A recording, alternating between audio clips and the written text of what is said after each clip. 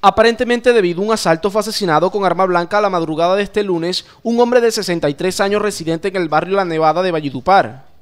Se trata de Leighton Polo, quien se encontraba en cercanías de la calle 48 con 5C cuando sujetos lo abordaran para arrebatarle sus pertenencias, entre ellas dos teléfonos celulares pero durante el robo registrado aproximadamente a las 2 y 45 de la madrugada, los asaltantes no se conformaron con llevarse consigo los equipos móviles, sino que terminaron hiriendo en el abdomen con arma blanca al hombre de 63 años.